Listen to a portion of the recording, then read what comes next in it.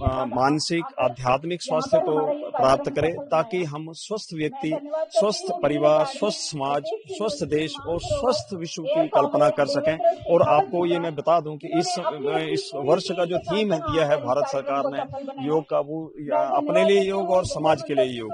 तो ये आवश्यक है कि अगर समाज को स्वस्थ बनाना है तो उसके लिए योग को अपनाना पड़ेगा। वो एक दिन अंतर्राष्ट्रीय योग दिवस मना के नहीं होगा, जीवन में योग को उतारना पड़ेगा। जीवन का एक अंग बनाना पड़ेगा तभी हम स्वस्थ रह सकते हैं Actually, I'm studying here, but I feel so good after the yoga session. I feel so relieved. My body feels good. It's really a good uh, practice that India does, and this session is beneficial for me. It's very beneficial.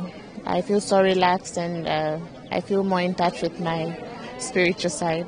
You are from which country? I'm from Zambia. My name is Anahita, and I'm from Afghanistan. How do you feel today?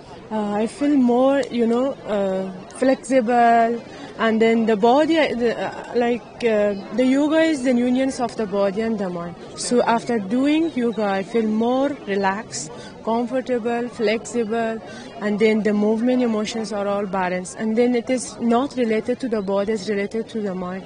So I feel more calmness.